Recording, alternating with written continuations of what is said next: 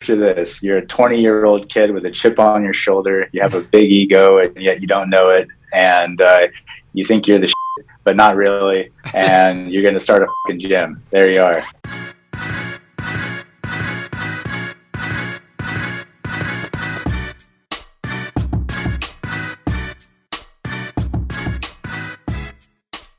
One thing I'm constantly fascinated by is all the different career paths you can pursue within the fitness industry.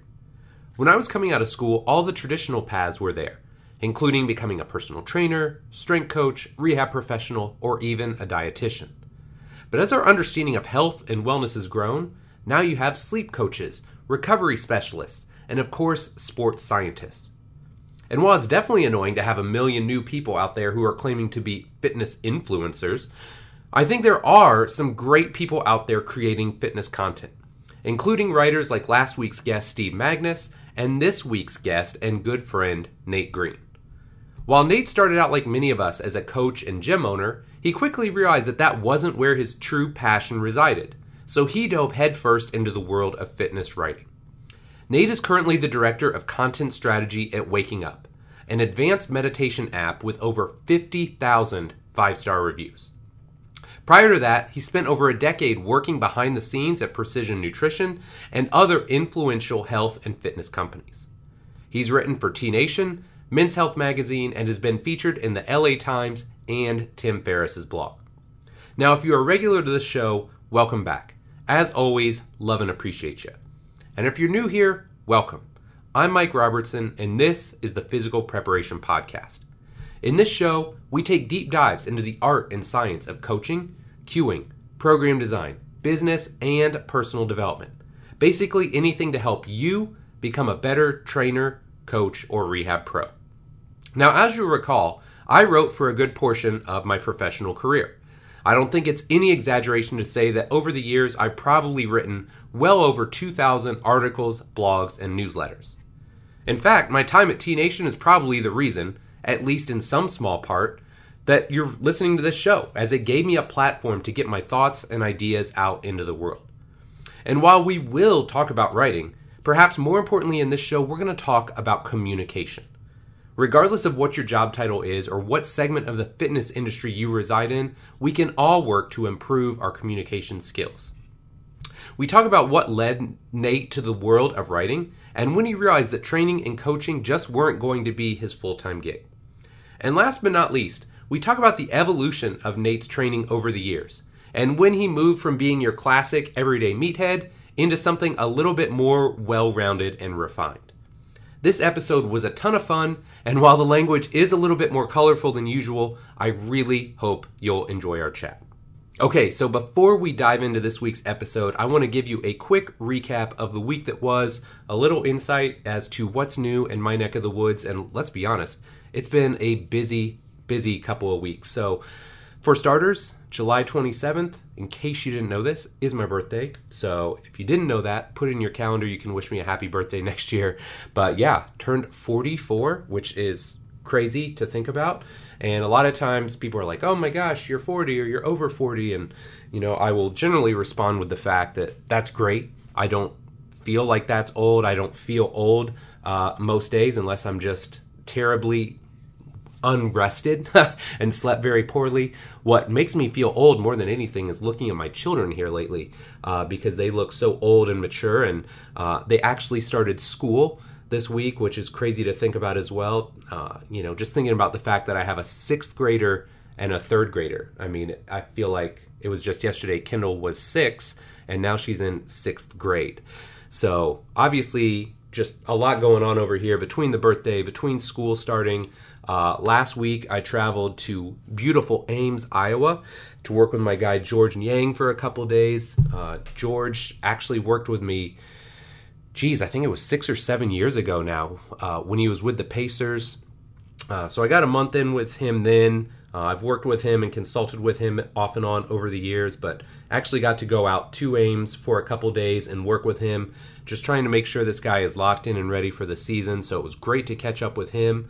Uh, as you can tell, traveled, so now I have a little bit of a head cold thanks to all the travel and being in airports and all that. But fighting that off and you know, beyond that, uh, beyond school starting, we also have fall sports cranking up as well. So Kendall uh, started soccer this week, a little bit more intensive program this year because she's going to actually practice three days a week. Still one game on the weekend, maybe a couple tournaments sprinkled in throughout the year, but really excited for her to kind of level up her development. Also, kind of bittersweet thinking about the fact that I will not be coaching her anymore. You know, I've had so many great years coaching her uh, whether it was soccer, whether it was in basketball, whether it was in softball. So a little bit bittersweet to think about, you know, the fact that maybe I won't get to coach her anymore, but also excited for her to be working with more professional coaches and coaches that know more about the game. Um, and so now I just get to be, you know, kind of her biggest fan out there. So she's already had a couple practices. Uh, I, I like where she's at. I think she's going to have a, a really good year ahead of her, and I'm just excited to see her grow. So she's got that.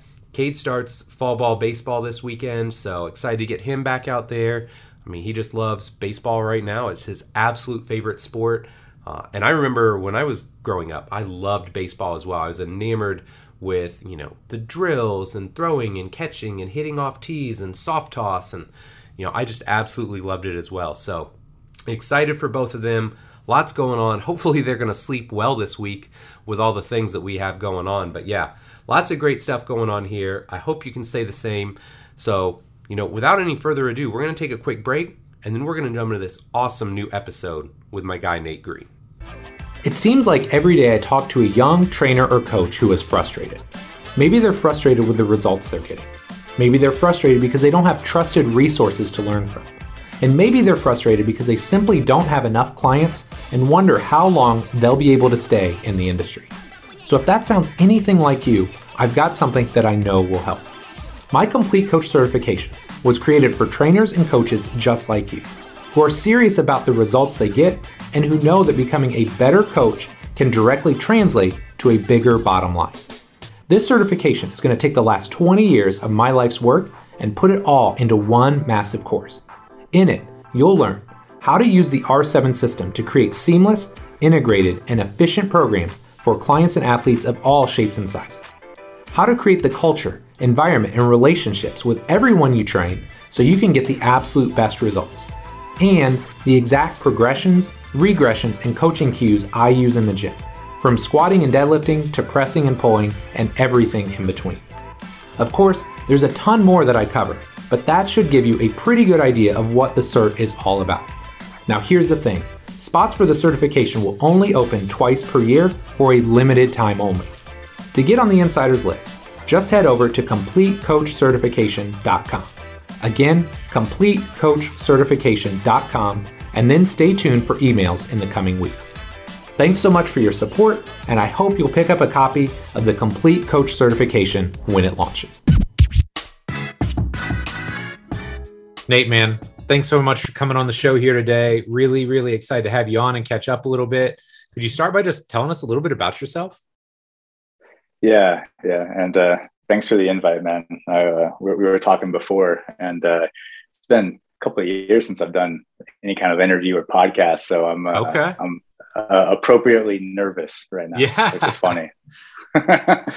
um, yeah, cool. So uh, where do you want to start? I guess I could start at the beginning. I mean, you got to start at the beginning, right dude. Give us the full path, like 18 year old Nate. Path, the abbreviated version, because no one wants the full full bath. Okay. Um, okay. All right. So basically, yeah, like in uh, in high school, I was a terrible student. Uh, probably had ADHD. I've never been diagnosed, but I, mean, I guess it's fair to say I, I graduated with a 1.7 GPA. Oh wow! Um, okay. Just, yeah, very very bad. But for whatever reason, um, I got super into health and fitness at the time, and I realized that oh, it's not that I can't pay attention. It's just that I wasn't interested in what the people, uh, the teachers at school were trying to teach me. But I got super interested in health, fitness, nutrition, uh, behavior, psychology, all of it. And so, like right after high school, I had this experience where I really fell into fell in love with the, going to the gym and, and working out and I had this body transformation where I gained like 40 pounds um, and was super proud of that. And then from there, I was like, ah, school seems to be kind of off reach for me just based on previous performance. And honestly, I don't do well in structured environments like that. Why, why don't I try to pursue this health and fitness thing a little bit? And uh, so I uh, worked hard, got my personal training certification, uh, started working at this club called The Wave in, uh, in Whitefish, Montana, where I, where I went to high school. And just started training clients. I had no idea what I was doing. I had like a, I didn't, I didn't even have a good certification. I'm not going to throw anyone under the bus and tell you what certification I had, but let's just say it was not, it was not, not wasn't the gold the standard. Huh? Was not the gold standard. Um, That's fair. But yeah, but anyway, so I, I got into it, started training clients, realized I really uh, loved it. I loved connecting with people. I loved thinking about the body. Uh, this turned into me a couple couple things happened around that time where the first one was I opened up my own personal training studio, so my own gym. Uh, start I found T Nation, uh, Testosterone Nation.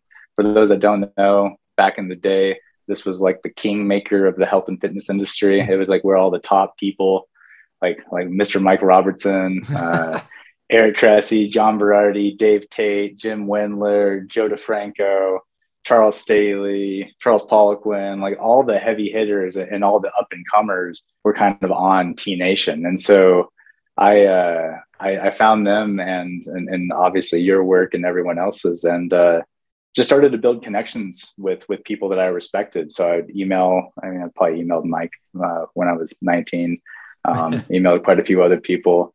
So I had this track going on where I was, I thought I wanted to be a personal trainer, thought I wanted to own a gym and then simultaneously i would al- i was always interested in kind of the writing aspect or the journalist aspect. One of my early mentors was lou schuler who was the former fitness director of men's health magazine. And so there was a part of me that was kind of enjoying going this opposite way which was uh, thinking about writing from a kind of a journalist point of view but even more so from a, I guess from a, a coaching slash marketing point of view. And uh, so i had this gym and after running it for a couple of years, it just became evident that, like, I mean, I feel like I knew and know quite a bit. Um, I guess I, I, know enough to not hurt myself too badly and to keep myself genuine, uh, generally healthy. But I'm not, I didn't have the passion that someone like, uh, like an Eric Oetter would have uh, for really or, or, for getting into the fine details of, of movement and everything. And I just felt like at some point, because I was surrounding myself with people such as yourself and other people that I just named, it was just evident to me that like ah, these guys have something that I don't have or I don't really care to build. And so I, I really at that point uh, decided to kind of go the other direction. And I, st- I was still doing my own personal training. I, I started doing some online coaching, but I, I got into the position where I was like, I just want to write about this stuff and, and connect other people and be kind of a, a bridge or a connection between the experts and, and general population or, you know, introducing one expert to another and facilitating uh, work that way. And so it was right around that time. I think I was in my early 20s. I wrote a book. Um, holy shit, I wrote a book.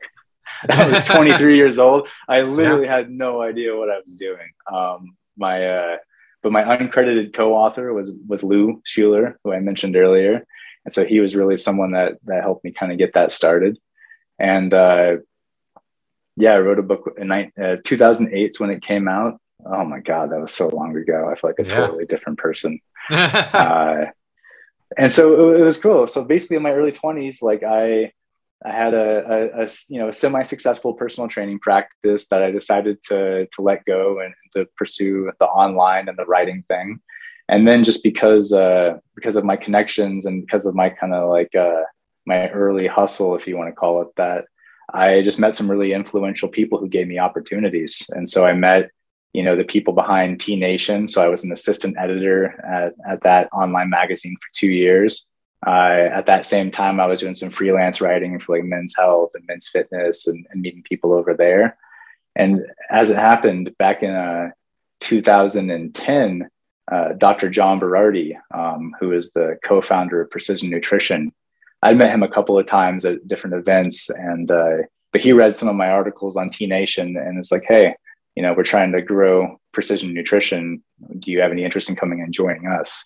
and so I actually spent about 10 years at PN, uh, kind of behind the scenes. So writing a lot of articles, but also really helping to develop the whole content and marketing strategy, uh, at least in the early days. Um, and that was a huge education for me. Sure. Uh, yeah, and then from there, um, I I had my own blog and uh, kept up with that for a while. It's kind of fallen away, but um, I basically left PN two years ago because I accepted a new job where I'm now the director of content strategy at a meditation app called Waking Up.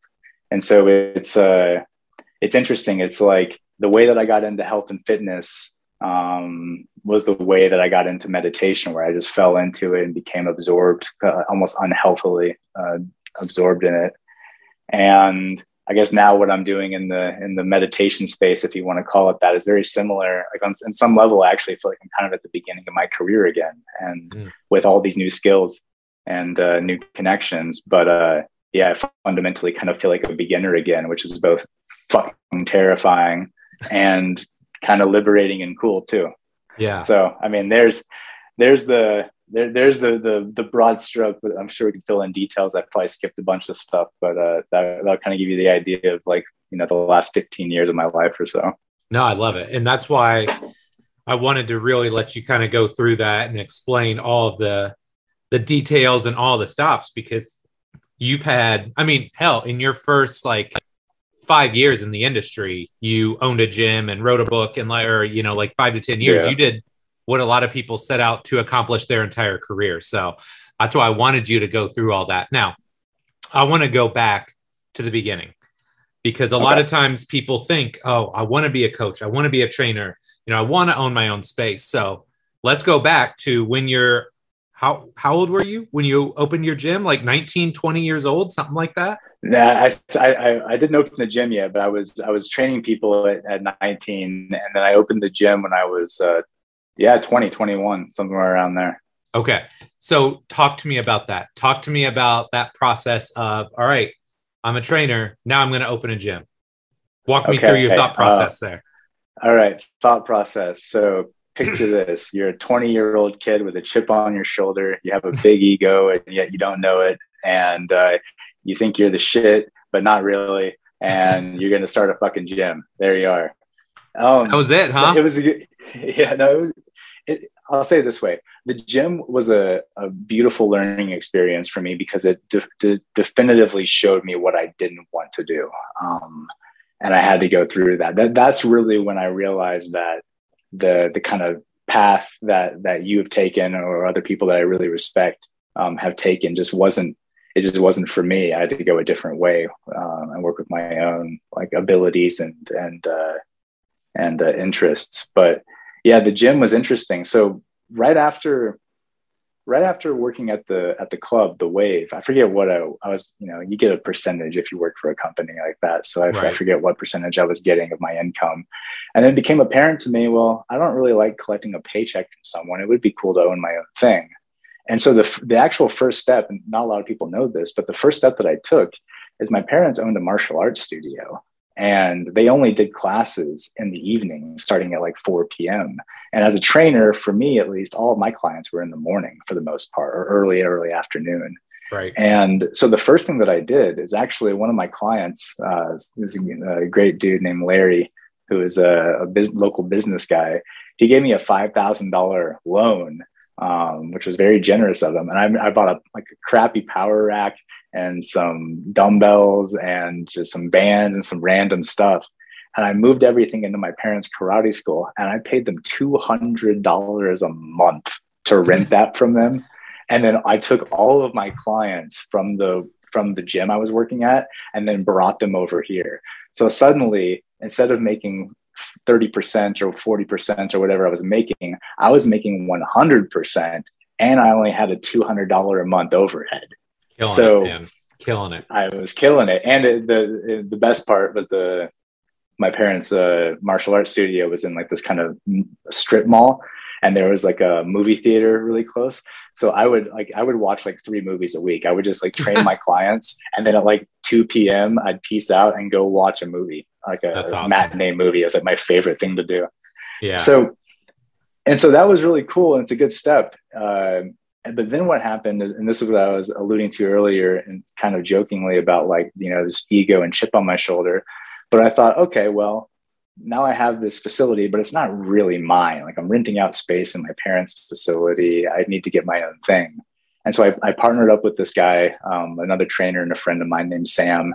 And him and I actually started looking around for like a location. So we found a, a dope location um, in a new building in a, in a new part of town, corner of downtown. Um, and we took out like then we did all the things that you're not really supposed to do or that we now in retrospect i wish i wouldn't have done. But like you know our overhead suddenly was like ridiculous. I mean at least in those terms now it'd be laughable how much but it was like right. thousands of dollars per month right? Right. And so suddenly i have this this location and now i have to do more marketing and uh i don't know. I i just it was then it was then when I realized I don't know if I have it in me because I don't I don't know if I care enough to do all of this stuff because I don't know if I'm even that good at training people. Like I feel like I'm I feel like I'm better than anyone locally, but right. when I'm when I'm comparing my skills to to the people that I know of, like the you know I'll use you the Mike Robertsons of the world, then I'm just like ah this isn't for me. And so it was right, right then that I had to make the decision to kind of to break and go a different direction. So the, the gym and that part of my life was really beautiful learning experience for me. And I'm glad that it happened, but it definitely showed me the path that I didn't want to take. Yeah, that that's huge. And there's a couple things that are interesting in there. Number one, and I've talked about this numerous times on the show over the years, but I think a lot of times if you came up when we did in the fitness industry, right? You weren't a real major player unless you opened your own gym right? Like you yes. could be the best trainer possible. Like you could go anywhere and be the best, but if you don't have your own gym, it's like Absolutely. you were not you weren't credible. So I think part of that was the mindset at that point in time, but that's that's really interesting too because I was going to ask like was there a specific point like I love these stories of, you know, I'm on the brink of should I be a trainer? Should I be a writer? Is there like one moment that pushed you over that edge? And it sounds like maybe owning that business was just like hey look like i can be pretty good at this or i can be really good at this. All right so a couple of things happened and one of them kind of came out of nowhere. So right around this time um yeah the gym was one but that so that would have been what 2006 2007 ish around okay. that? Yeah. So something else happened around that time and you won't know it until i say it but a, a very important and popular book came out that just fucked everyone's world up in, in, in, terms of people and you know in this age group or this certain industries. And that was the four hour work week. Oh yeah. And so yeah. so when the four hour work week by tim ferriss came out i remember reading that in like 2007 and 2008 and it just at that point you know i'm in my very early 20s I not only do I have this like kind of I have this brick and mortar location, this gym that like on paper feel like looks good. I mean, on paper it's financially not doing well because my overhead's so high. um, but it, but it looks good. And then here's this this guy Tim Ferriss talking about you know if you get away from the actual title, I mean whatever, working four hours a week, maybe maybe not.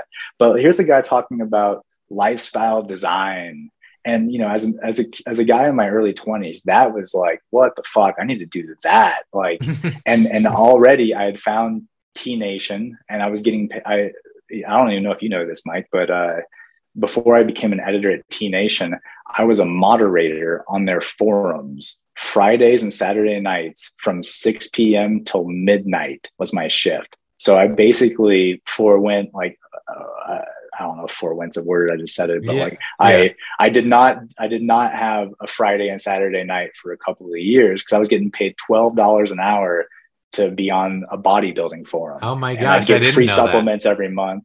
Yeah, it, it was amazing. And so with that, and then with my my brief experience of like, oh, there's a way. Like I had a blog. My my friend Jason Lengstorf, who I know you know. Yeah. Um, my uh, my best friend growing up, and we're still close to this day. But uh, he was a web developer, and so it's it's actually weird, man. Uh, now that I'm thinking about it, it's kind of coming back. He built my first website for me, and, and, it was total shit. It looked like garbage, but it was great for the time.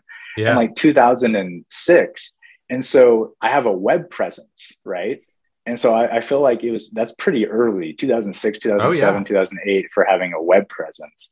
And so this whole new world opened up to me, and it was, oh, maybe I could live wherever I wanted to, work on the things that are really interesting to me, like writing and fitness, like combining those and, and marketing eventually and psychology kit came into it too.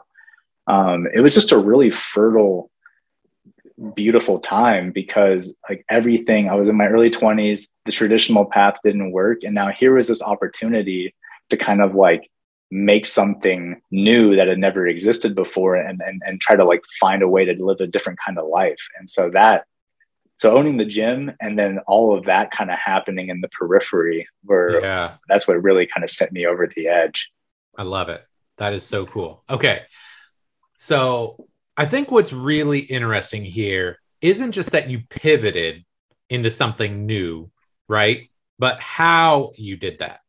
So, what mm-hmm. I'd love to hear about is, you know, when you're going into this, obviously you had some background in writing or something, or maybe you just have that innate talent. I don't know. But for the people that are listening in, how did you go about cultivating or developing that skill, which was in your case writing, that allowed you to work in the fitness industry but maybe not in the traditional sense that most of us would think of? Yeah. Um, good question. I guess I can only speak from my experience, right? So I'll tell you what I did, and then I, maybe there's maybe there are lessons to extrapolate from that. Hopefully there yeah, are. Yeah, of course. Not. But um, so writing. all right, i am going to drop another one on you. This is just fun. Like yeah. uh, as, as, I'm thinking about this new stuff, is like just memories is, are coming back. Yeah. So I got into writing because I was really into hip hop. Like I love okay. rap music. Okay. Yeah. And so again, think about the time I'm in high school. Uh, I graduated in uh, 2003 from high school. Um, so what what became what album became really popular? And when I was in high school, Eminem blew up, dude. Oh yeah. And so Eminem was on the scene. And I remember because you know it's still early days of the internet, and I'm like I'm on T Nation forums. I was on the Eminem fan forums.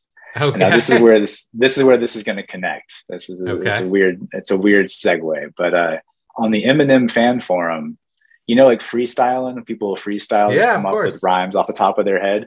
So I used to key style, which means you would just write raps like spontaneously on the computer and you'd fucking battle people in like the uh, comment section of the Eminem fan forum.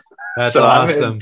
I'm in, I'm in high school free st- key style and and then you know I, I, have some girlfriends and i'm dating around so i'm writing love notes so that's it's, it's that kind of just weird uh, confluence of factors that like spawned my interest in writing and then i used to be a really big reader um, like family grew up fairly poor, so we just went to the library a lot, read a lot of books, played a lot of board games, and so I, would always loved words and, and, reading. So I guess that's that's where it came from. But then, I mean, to answer your question more specifically, like getting away from from just those factors that maybe people can't relate to, because uh, it's you know it's unique to to me, I guess, and and everyone's got their own unique story. But what happened is at T Nation, I. Uh, I, I wrote uh, TC, uh, who's who's the editor at the time, maybe mm-hmm. still is the editor. I don't know. I just wrote him an email, and I just tried to make it the best fucking email I've ever written. And I tried to make it kind of literary, right? I don't know. It was just good writing in an email, and uh, he gave me a shot to write an article. Um, and what ended up happening is over the course of two years of me being there, I think I wrote over a hundred or more articles and so I didn't have like a skill set per se. I had an I had an interest in the subject matter, which was health and fitness and nutrition and all related topics, self improvement or development, if you want to call it that. I had this innate love of of reading and words and wordplay from from reading as a kid, and then from like you know Eminem rapping on you know, key styling or whatever. right. And uh, and then I just had a lot of work to do. I just put in a lot of reps. Like this is what people will tell you, right? Just got to do the work. I mean, you don't learn. You, nothing is a faster teacher than doing the thing that you say that you want to do. Like if you say you want to be a writer, like I did want to be a writer, and how did I practice that, I fucking wrote a lot of things. And Yeah. the only reason I wrote them is because I had to. Meaning, I mean, ultimately I didn't have to because I didn't have to work there. I didn't have to do any of it. But like what I mean is I had an editor and I was on a deadline and I was passionate about what I was writing about. And so I just put in a lot of reps at T Nation pretty early. And at that same time, I started writing my blog um, because my buddy, you know, built me this website. So now I'm connecting with people. I mean, I'm sure you still get this. Uh, I, I get it less and less now that I'm not as, as prominent as I as I used to be. I, I haven't really been out there. I'm not on social media really or anything. But um, I remember getting emails from from people who read my stuff, and I was like, "Holy shit!" Like I read, I write something, and then people read it, and it and it affects them in some way, Right. whether positive or negative. That's insane that I have that that this exists, that the, the, this capability. And so that became this kind of like flywheel, this self perpetuating thing where I'm like, I'm getting feedback on what I'm doing and it's good or it's bad or it can be improved.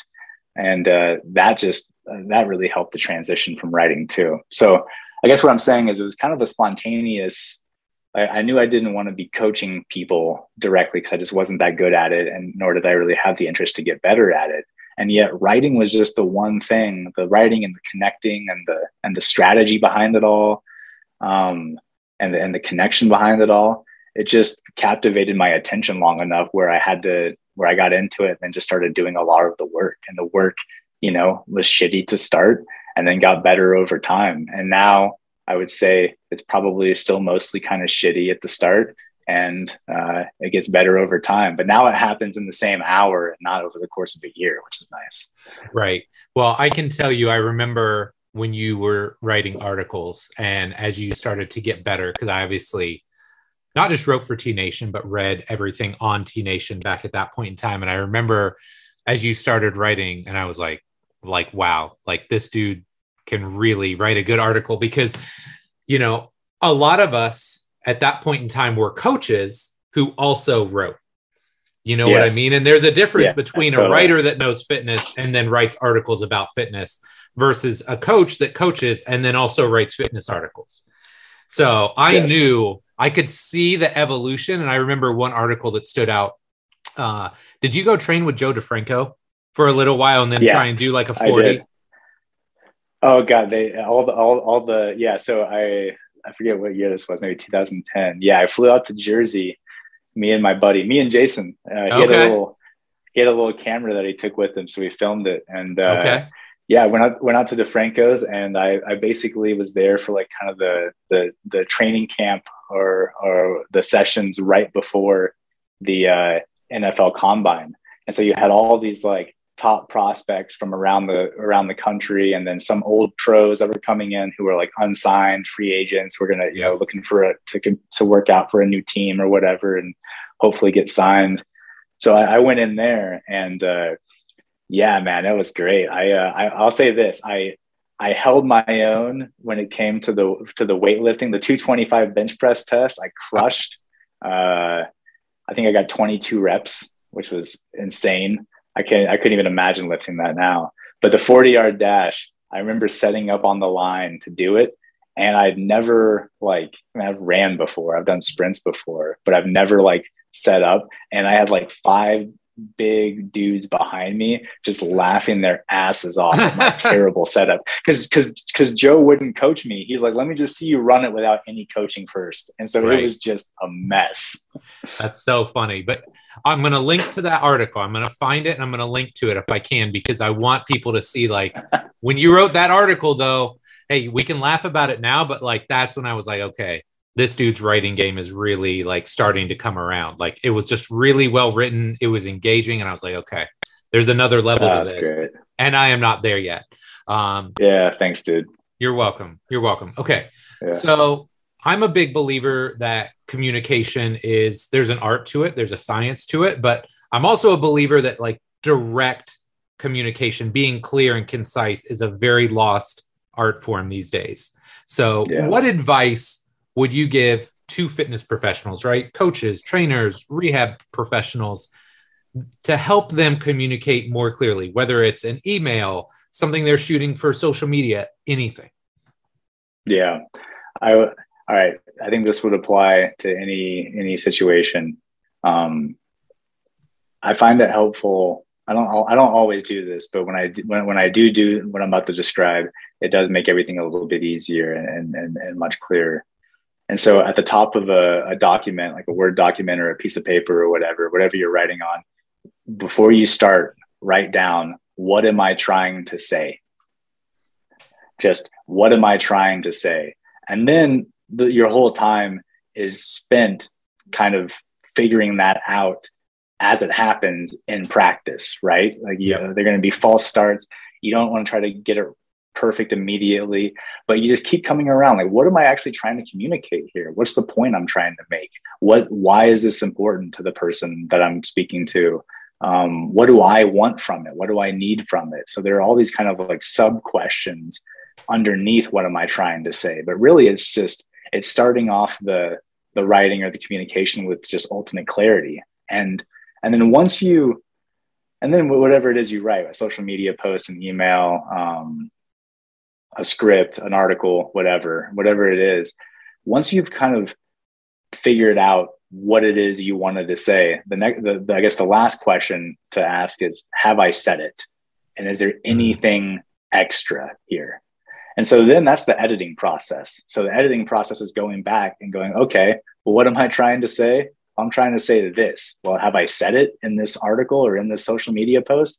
Well, yes, kind of, but I distracted from it because I, you know, put these things in. Or no, I'm not. It wasn't actually as clear as I as I could make it. And so that's that's just simple advice that I think anyone could use. Like start off anything with what am I trying to say? And then when you think you've said it, ask yourself the question, have I actually said it? Yeah, that's fantastic advice, honestly, because so many times, and I find this a lot with questions. Like people will, I'll say, well, do you have any questions? And then like five minutes later, they're still going. And I'm like, okay, stop. Is there a question in there? Right? Yes. Like they don't really know what they're trying to say. And it's the same thing here, right? Like be really clear yes. on the objective and what you're trying to say, uh, and then go from there. And and one of the other yeah. things that that I always liked, since we're kind of talking about writing and communication and that sort of thing, I find a lot of times people have trouble getting started. And not that this is life mm. advice. I think Ernest Hemingway said something along these lines. You can correct me if I'm wrong because you probably know, but it was something along the lines of write drunk and edit sober. Did you ever hear that?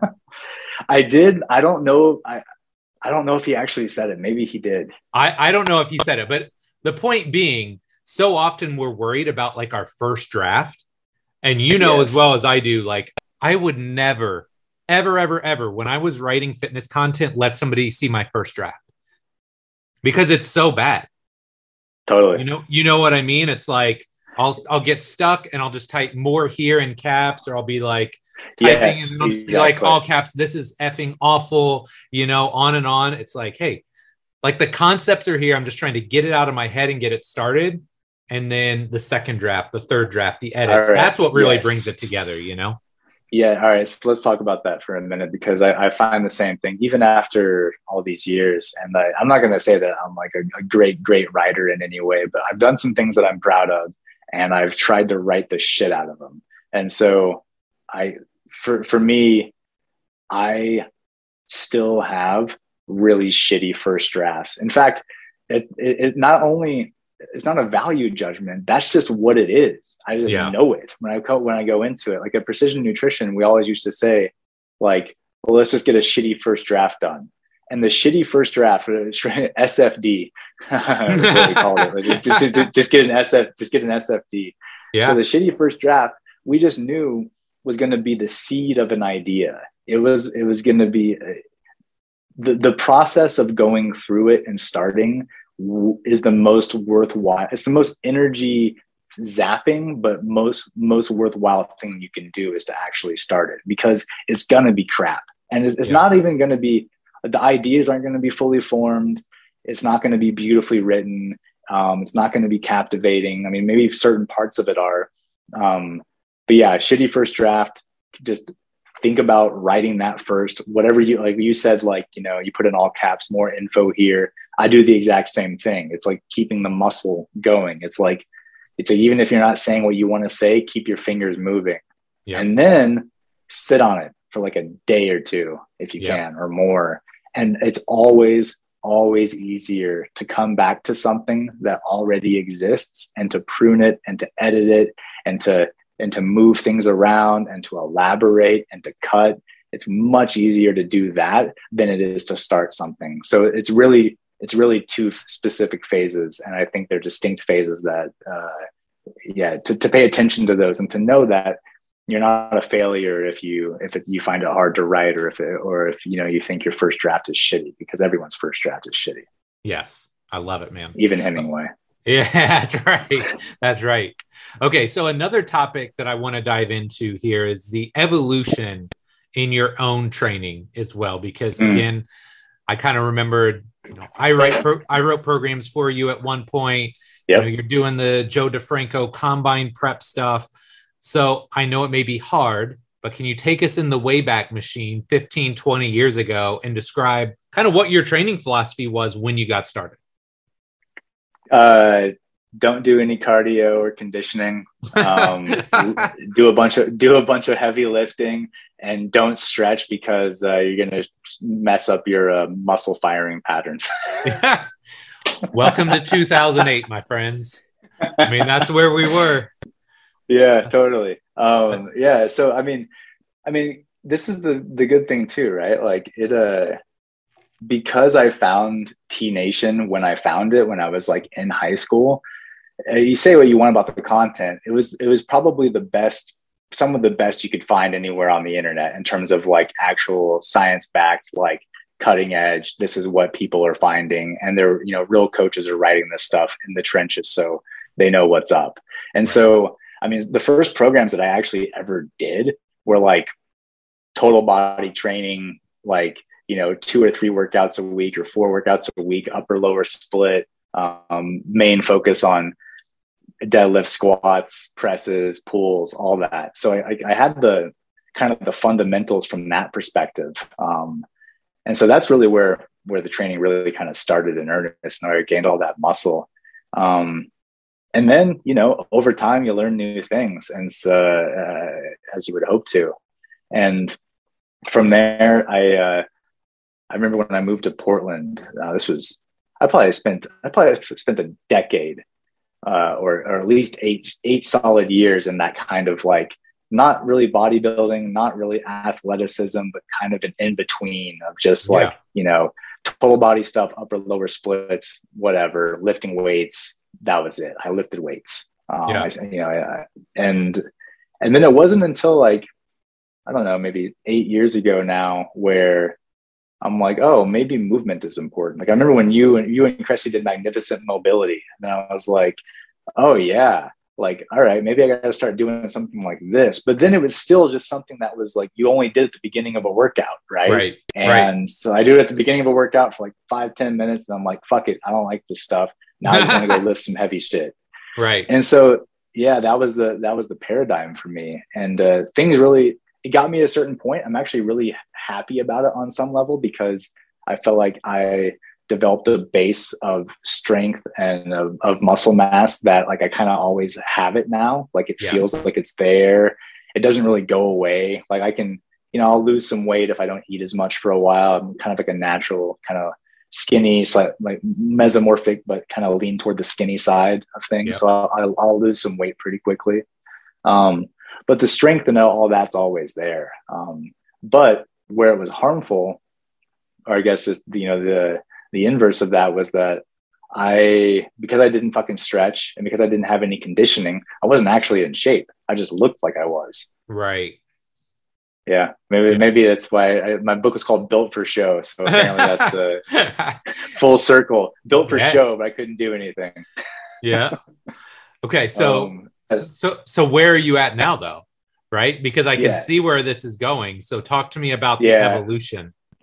All right. So now I would say I so we have a little basement gym downstairs, nothing fancy, but um, we have some kettlebells down there. I have a rowing machine. Um, uh, have some rings hanging up. So I would say a couple times, a couple times a week now, I'm down there just doing like density stuff. So just lots of kettlebell swings and get ups and, and presses. Um, a lot of like, I guess what people would call like animal based movements and flows. So just kind of what you and Cressey were doing with magnificent mobility, but then like the mo- the modern version of it, right? Like sure. bear crawls and crab walks and just and and kind of it's almost like a free flowing dance, if you will, on some level, like a movement dance. Yeah. So a lot of that, um, more conditioning. So aside from just like the actual hiking, I, I, I met Joel Jamieson years ago, helped him with some projects, and so I got really into his work and like training with a heart rate monitor. So just doing, um, you know, high resistance intervals and and road work, just like longer duration, longer duration cardio.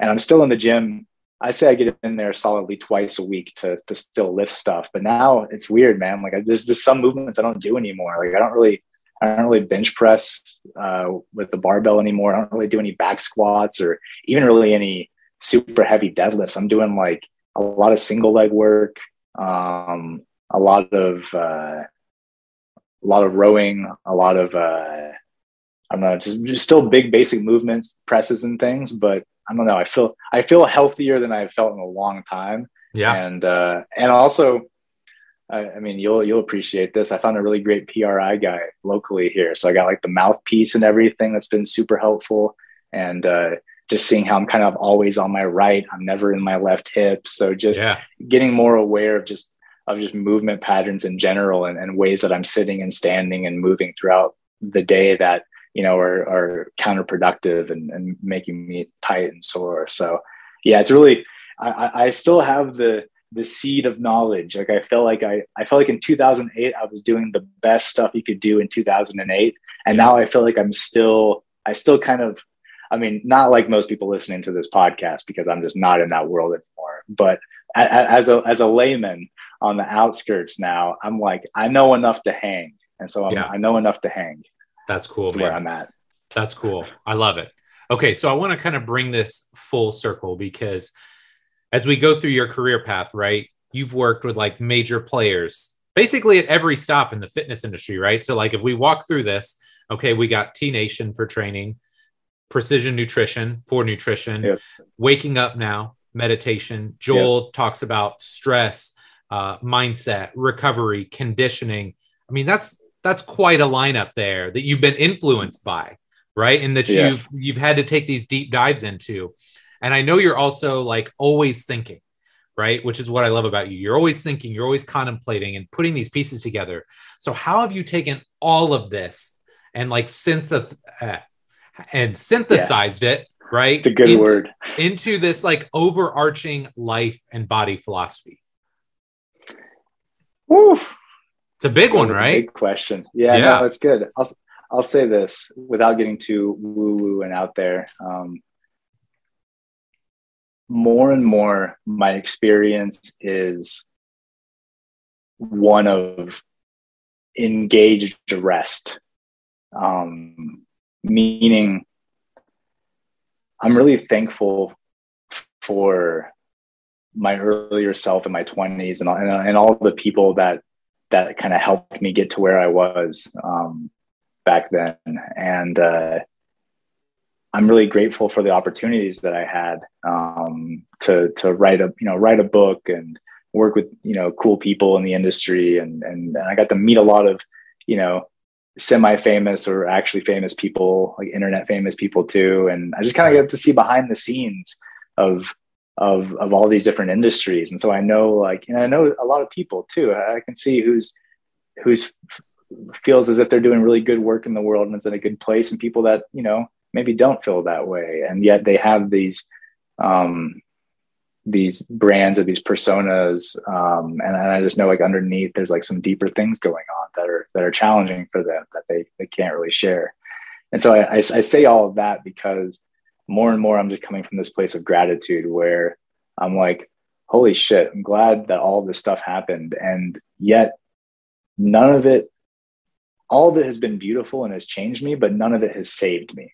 Meaning, mm. I don't think that there's nothing, I don't think there's anything I can do that's going to make my life better than it already is. And I don't mean that because I make, I like, God, I wish I would have saved more money when I was in my twenties. My my God, Right. why didn't why didn't you or someone come and fucking slap me and tell me to save money?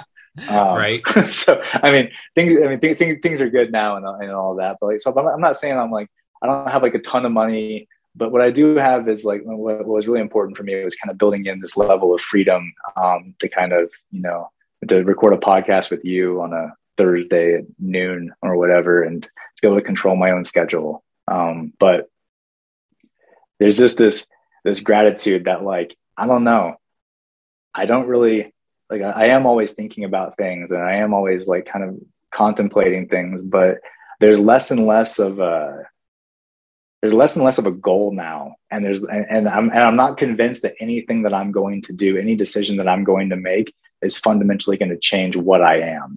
And Mm. and that's actually a really good thing. Like uh, the, there's no more there's very little interest in self-improvement and self-development now. Not to say that it's not there. Like i want to be the best husband i can be for my wife. I want to be a better listener for my colleagues. I want to be a better writer. I want to you know take care of myself. So there's all these things that i still want to do and i think are important so i, I guess you could call those goals but i'm just kind of comfortable being me now and that's Yeah. the i don't know it, does, it doesn't feel like because I know what it gets you. Like I, I, you can write a book and it could change your life, or you could write a book and you're still the same fucking person, and Right. and that's okay. So I'm just that's where I'm at right now with with everything. Is like, you know what? I feel pretty fortunate to be alive and to have had the experiences that, that I've had, and to, you know, for my for the luck of the draw of like where I was born, when I was born, who I was born, all that kind of stuff. and so more and more, I'm just like, I don't know. Things are kind of weird everywhere in the world, but life is pretty fucking sacred and beautiful too. And uh, it just feels good to, again, without sounding woo, woo, to kind of honor that, right? To like, yeah.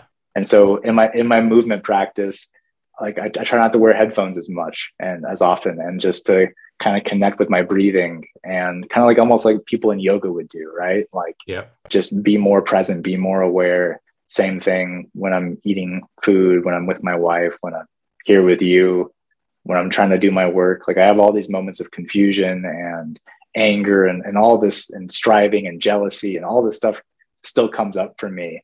And yet I know on some level that there's no ex- escaping from it. And so it's like I've kind of, like I said, en- engaged rest. I've just kind of settled back into, I don't know what the fuck's going to happen next, but whatever happens, I think will be okay. Wow. That that is a really cool answer, dude. I love it. I love it. Okay. So as if that wasn't a big question, now I've got the real big question. Okay. If you could alter the space-time continuum and give young Yes. Nate Green one piece of advice, what's it going to be? Save 20% of your gross income into oh my uh, gosh. Right. uh, Van- uh, Vanguard index funds. Right. I know. I know. yeah, dude. That's the one piece of advice. That and that and uh and no one cares. I mean, they care Mm, as it as it relates to how your actions affect them. But like, I don't know, I was pretty pretty concerned what other people thought of me. And like no one really cares. Like and, and not that they don't care in a negative way. It's just that no one's really paying attention to you. They're all paying attention to themselves. yes. And, yes. and so to, to not take yourself so seriously. Yeah, there's some some analogy that I'm not even going to try and recite because I know I would butcher it, but it's something along those lines, right? Like when you're in your 20s, you're so absorbed and you think everybody's thinking about you, and in your 40s, Yeah. you're like, oh, I don't think people care, and by the time you're like 60, you realize like, no, they don't care at all because they're worried about themselves, you know. Yeah. But it takes you sometimes 30, 40 years to figure that out versus just no, everybody's dealing with their own stuff they're not worried and they're not thinking about you. And again, like you said, not in a negative way. It's just that's the realist, Yeah. or that's It's just that's reality. when you think about it, you think about it, are you, you thinking about any of them? Probably not, as only as only as it relates to you and how they affect you or their behavior, right? So like, yes, yeah, not to negate, not to negate the fact that you know, yes, it, it is important to show up and and all that, but like, it's not. Just don't take yourself too seriously. And if you can learn that, I'm 37 now, so God, I hope I can learn it now because I don't want to wait until I'm 60 to, Yes. to do that. yes. All right, man. Last but not least, lightning round. So four fairly short questions. Your answer Okay. can be as long or short as you like. Number one, I hate this. but I'm going to ask anyway. Is there like Okay. one career highlight for you? Like one thing where you're like, that was a huge moment for me. Yeah. Um, in 2018, I went on a backpacking trip in Yellowstone with 20 other guys, and I wrote about the experience for Men's Health. And it was uh, a feature piece. So it was like a 3,500 word article Oh my. um, about the about men's groups and kind of like the men's kind of like mental health crisis and how that affects uh, women in the world. And so I wrote this article, um, yeah, a couple of years ago, and uh, it was the hardest thing I've ever written, like from a skill standpoint. Okay. Um, and the subject matter I, was really close to my heart and, and still is. Uh, yeah, it was, it was an article. Um, I'm not sure what it's called online anymore, but um, it was called "There Will Be Tears." Um, okay. yeah, so that's that right there. Uh, that that was the that was the culmination of me. Like it was for a, a major magazine. It was a feature piece, and I tried to write it as if it would it, it could live in the New Yorker or the Atlantic or Esquire magazine. Like Men's Health is a great publication. Um, they have some great writing in there, and and and that, especially now, um, it's even more kind of literary. But I tried to write the shit out of that article, and I feel like I did a good job. So I love it, man. I'll try and find it and link it because I, I want to read that too. Okay, number Yeah. two. You lived literally all over the world for an entire Yeah. year. Did you have a favorite spot? Yeah, if I could go back anywhere, I would spend a few months every year in uh, in Chiang Mai, Thailand. Um, God, I just love the food. I love the culture. There's like Buddhist Buddhist monasteries everywhere. Yeah. uh, it's just like a, it really got a peaceful quality to it. At the same time, it's like a like a small city in the north, so it is just like the hustle and bustle of, of people living their lives and. uh yeah, so I I would say Thailand, and then uh, go off to the beaches every now and then too. I love it. Okay, number three. Best and worst part of growing up in Whitefish. uh, best part was um, access to nature. Just, Yeah. just. I mean, you're in nature. You can't. I mean, it's in the middle of nowhere in Montana, right? I mean, Right. not nowhere, but it's like you know, it's, you're in the fucking woods pretty much. Um, and and Glacier National Park for mo- most of my childhood was like my backyard. It was a 25 minute drive away, and so I just spent so many times, countless, countless hours, um, hiking in nature with mountains and and rivers and and being under the stars. So that was that was huge, huge for me. I'm so grateful for my parents for for moving us there. Worst part, you're in fucking Whitefish, Montana, man. You don't know nothing. You there's no good. I mean, it's getting it's getting better now, but like, you know, I didn't have Thai food till I was 15. Right. Didn't even know that existed. Yeah. Although I have had so many I know and I know you put instilled this in me, but man, I've had so many people talk to me about Montana and how beautiful it is. So someday, Yeah. man, I'm Uh, gonna get there.